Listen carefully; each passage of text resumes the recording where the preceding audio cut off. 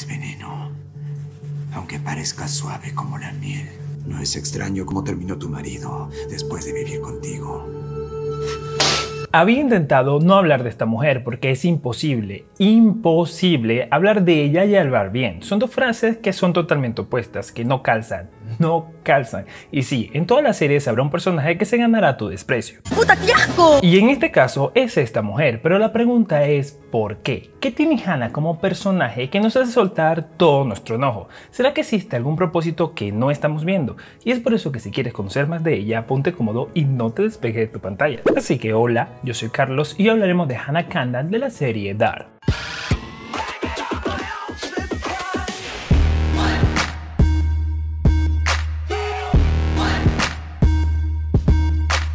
Quería aprovechar la oportunidad para expresarles lo contento que estoy de que ya somos un poquito más de 400 suscriptores. Y es que 400 personas no cabrían en mi casa. Vamos, es que ni siquiera 100. Bueno, 50 tampoco. Bueno, 10 y me estoy arriesgando. Pero lo importante es que en este canal sí hay espacio para todos. Y es por eso que me haría mucha ilusión que te suscribieras y activaras la campanita. Pues si llegamos a los 500 suscriptores estaría exactamente a la mitad de la segunda meta que te pone YouTube.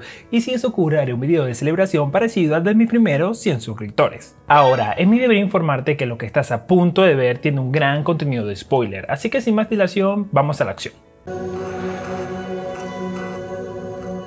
¿Crees que sea el apocalipsis? Un poco decepcionante. Lo imaginé mucho más ruidoso, deslumbrante. Hannah es la madre de nuestro protagonista Jonas. Nació en el año de 1972 siendo la hija de Sebastian Kruger, pero al crecer se casó con Michelle Kandal, tomando su apellido y formando junto con él y su hijo una pequeña familia dentro del pueblo de Vinden. Pero a pesar de ser una familia aparentemente sencilla, tuvo en esta serie muchas complicaciones. Sí, Hannah en esta serie sufre la pérdida de su esposo, el cual se quita la vida sin ninguna razón entendible, y su hijo Jonas es enviado a un centro psiquiátrico para pacientes hospitalizados poco después. Así que como madre soltera se ganaba la vida siendo fisioterapeuta y entre sus clientes se encontraba Alexander Tiedemann, el director de la planta de energía nuclear de Vinden. Mm, bueno, hasta aquí llega todo lo bueno que puedo decir de ella. Hannah Kandal se destacó en esta serie por ser una mujer inteligente, impulsada por el dolor y la venganza, creando sus propias conspiraciones y alimentando su obsesión por Ulrich Nielsen, con el cual tiene una aventura en el año 2019. Sin embargo, esta obsesión no comenzó en ese año, sino en la década de los 80. Veamos su historia. Hannah, de pequeña, asistió a la escuela secundaria y es ahí donde se hace amiga de Uri Nielsen y de una deportista llamada Katarina Alberts, la cual tenía un romance con él. Pero a pesar de saber esto, Hannah estaba enamorada de Uri, por lo cual pasaba mucho tiempo cerca de él, obsesionándose tanto que llegó a actuar de forma egoísta. El 5 de noviembre de 1986, conversando con Katarina y otra chica sobre sus gustos musicales, reciben la visita de un chico que al parecer está confundido, pidiéndoles la ayuda para encontrar a su madre, pero su amiga Katarina le habla con rudeza, empujándolo a un lado por su extraño comportamiento y confusión. Ella, a pesar de que no parece querer actuar de la misma forma, sucumbe a la presión de grupo y se va con ellas. Ese mismo día, por la noche, va en bicicleta para encontrarse con Uri en una parada de autobús y estando sentados habla con él, intentando tener una conversación profunda sobre el fin del mundo, pero sonando afirmativa las ideas de Uri para seguir ganando su confianza y cercanía. Si el mundo se terminara hoy, y empezara de nuevo, ¿qué deseo pedirías? Es fácil. Un mundo sin Vinden. Por un mundo sin Vinden por un mundo sin Vinden. Pero esta ilusión que ella sentía se desplomó el 7 de noviembre del 86, dado que la escuela, a pesar de que intentaba llamar su atención, Uri la abandona para pasar un rato con un grupo de chicas, tomándose de la mano con Katarina. Hannah no sabía por qué Uri no se fijaba en ella, lo cual hizo que se sintiera insegura por su apariencia. Así que estando en el hospital después de la escuela, se da cuenta que estaba el mismo niño raro sentado en un banco. Se acerca y le pregunta que si cree que ella es bonita. Él duda en responder, pero luego de unas palabras la entretiene con un truco de magia. Ella le pregunta que dónde lo aprendió, a lo que este joven le responde que viene del futuro. Pero llegando nuevamente a la escuela, escucha unas risas a través de una ventana abierta, pero al mirar se da cuenta que se trata de Urri y Katarina, los cuales están compartiendo una escena íntima. Ver este acto la agitó mucho, tanto que su rabia la motivó a decirle a su papá que había visto a Urri abusar de Katarina. Él, como adulto responsable, la lleva a la estación de policía, donde ella confía lo que supuestamente vio con el oficial Egon Tide. Después él se bajó los pantalones y... No tienes que seguir. Tú has hecho lo correcto. Fuiste muy valiente. 14 años. Sí, 14 años y ya estamos viendo lo egoísta y calculadora que era esta mujer, tanto cuando no importó que el hombre que supuestamente quería lo metieran presos y con eso conseguía separarlo de Katarina. Así que si eres mujer y estás viendo este video, te recuerdo que por ese simple hecho la sociedad va a creer inicialmente en tu palabra, así que recuerda. Un gran poder conlleva una gran responsabilidad. Así que ten mucho cuidado de usar este recurso de forma errada, pues las mentiras tienen patas cortas. Y después de este momento de ardua reflexión y sabiduría, continuemos. El día siguiente, Hannah junto a su papá se ofrecieron a ayudar a un extraño joven que estaba en la parada de autobús. Ella se ofrece a llevarlo, puesto que piensa que la lluvia podría ser ácida debido al accidente de Chernobyl, pero él lo rechaza y ellos siguen su camino. Al siguiente día en el hospital se consigue de nuevo con Mikkel, ensayando su amistad mientras son espiados por el mismo joven, el cual era su propio hijo que venía del futuro. Sin embargo, su situación se complica el 11 de noviembre, dado que Katarina le menciona que Ulrich sería liberado ese día, dando por hecho que su plan de separarlos había fracasado. Y aunque Hannah trató de asustarla mencionándole a su mamá, Katarina le responde que el amor es mucho más fuerte que eso, y le dice que golpeará a la persona que le dio a Egon ese falso testimonio. Así que asustada le insinúa a Katarina que pudo haber sido Regina Tiedemann. Después, mientras va en bicicleta, ve un fugitivo llamado Boris Newman, el cual esconde algunas cosas en una bolsa de plástico y los entierra. Ella recupera en secreto la bolsa, encontrando dos pasaportes y una pistola,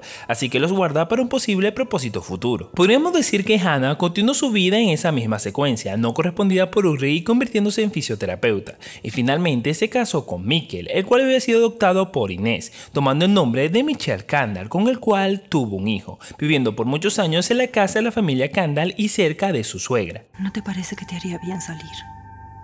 ¿Puedes intentarlo al menos? ¿Mm?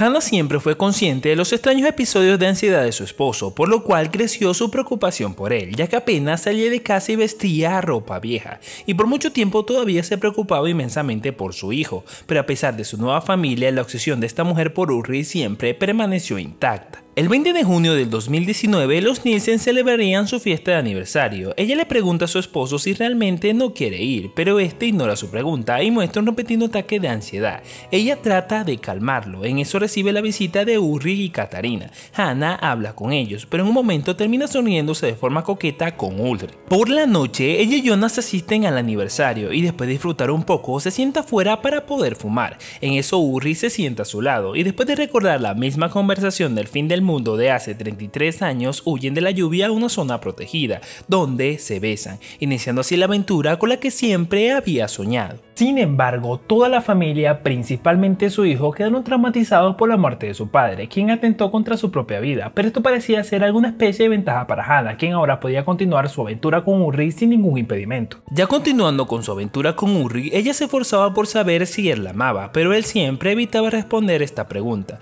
También mientras estaba entusiasmada con su nuevo romance, continuó con su trabajo atendiendo a su cliente principal, que era Alexander Tiedemann. Así que al final todo se resumía en encuentros ocultos de la sociedad y por supuesto evitando a Katarina, pero en su último encuentro ambos reciben una llamada urgente de sus hijos. Al llegar al lugar la policía también había llegado, resulta que el hijo menor de Uri había desaparecido y su hijo Jonas no se movía de la conmoción, así que ella se acerca y lo abraza, pero este apenas le responde, sin embargo pese a la situación de Uri, Hannah no podía dejar de pensar en su romance con él, por lo cual lo llamaba constantemente, pero él siguió negándose. Así que estando con él en un área de mantenimiento intenta besarlo, pero le expresa claramente que no se encuentra de ánimos para continuar la aventura. Por la noche, ella está en su casa junto a su hijo, el cual le pregunta si extraña a Michelle, a lo que ella responde que cree que extraña una idea de él, pero después de que Jonas le pregunta si lo amó, las luces se ciernen, haciendo que ella ignore esta pregunta. El 6 de noviembre, ella se encuentra en el comedor y ve a Jonas bajar por las escaleras diciéndole que necesita ir a la escuela.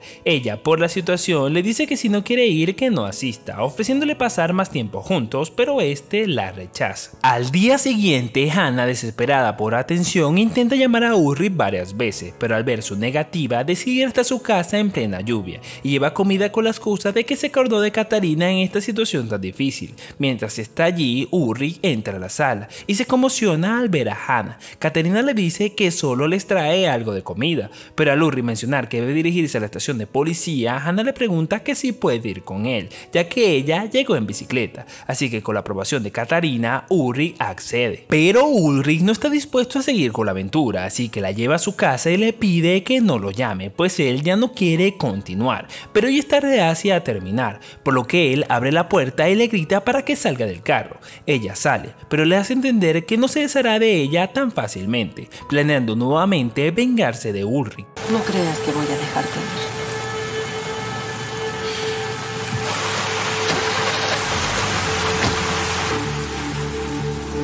Yo lo dije en el video de Urri y lo vuelvo a repetir. Si eres hombre y estás viendo este video, pele el ojo, porque no hay nada peor que una mujer resentida. Y en el caso de Urri, Hannah fue su perdición. Pero Hannah también comenzó a experimentar parte de todos los extraños eventos ocurridos en Binden, entre ellos cosas relacionadas a su propio hijo, el cual extrañamente sigue haciéndole preguntas sobre su padre. Luego de esto recibe una llamada anónima, pero aunque nadie le responde, una vez que ella dijo Urri, la persona colgó, tratándose de Katarina que con esta llamada confirmó su aventura. Esa noche alguien golpea la puerta de forma agresiva, se trataba de Urri, el cual irrumpe dentro de la casa y le pregunta a ella qué quiere de él agarrándola por el cuello y afirmando que se dio cuenta de que ella fue la que la acusó falsamente en 1986, así que la califica de enferma exigiéndole saber realmente qué es lo que ella quiere de él, a lo que ella responde sin tapujos que simplemente lo que era él, así que después de una amarga respuesta de su parte ella lo cachetea y él le dice que pensó que la conocía, pero solo estaba engañado,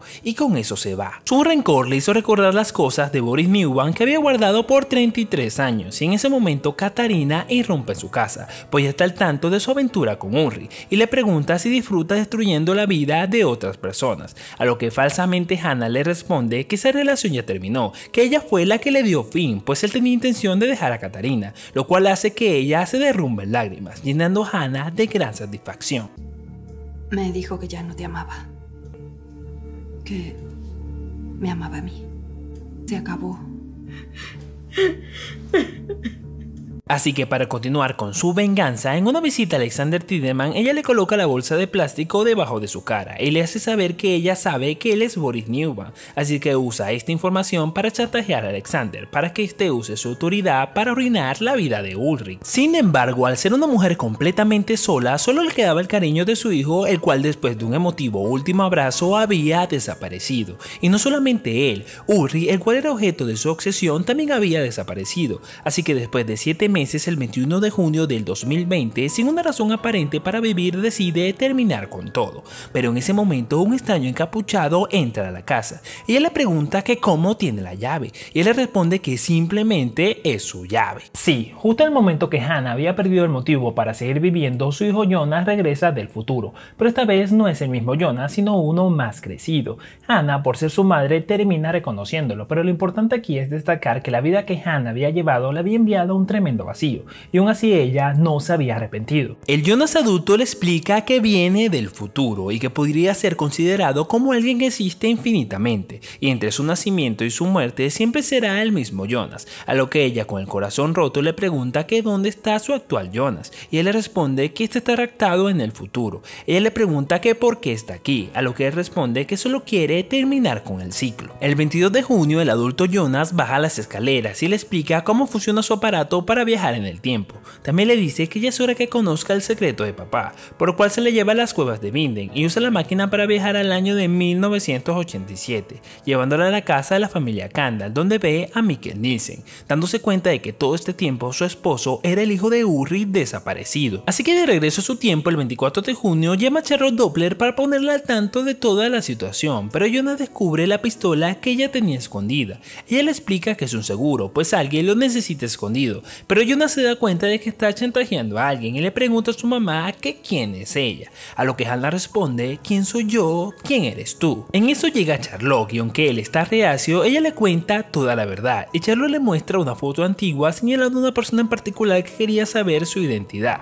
Él le confirma a Charlotte que ese hombre es Noah y aunque Hannah está confundida, Charlotte quiere mostrarles algo, así que los lleva al búnker donde ella y Peter ya conocen la verdad y él les dice que saben todo esto gracias a Claudia a Tideman, que le dejó la libreta triqueta que guardaba los registros de los viajes en el tiempo, a lo que Hannah sugiere que Katarina también debería saberlo. Así que hace que Katarina llegue y ahí le explican que Mikkel y Uri viajaron a través del tiempo, pero a pesar de todas las explicaciones Katarina no les cree, solo piensa que Jonas es el nuevo hombre de Hannah, pero Hannah se pone de pie y le dice firmemente que ella vio a Mikkel cuando viajó en el tiempo, pero Katarina simplemente les dice que están todos locos.